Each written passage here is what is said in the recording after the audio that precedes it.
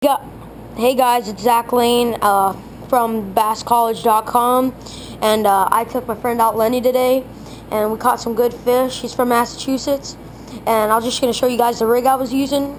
I had a six foot six Bass Pro Shops CarbonLite rod, medium heavy, with a seven to one gear ratio Bass Pro Shops qualifier reel. I was using uh, a Senko today. That was the better choice. Uh, I was using either a 1 16th ounce weight or weightless, and I just had the bobber stop on there when I was, because uh, if in case I wanted to put some weight to it, and uh, I'll show you how to rig it.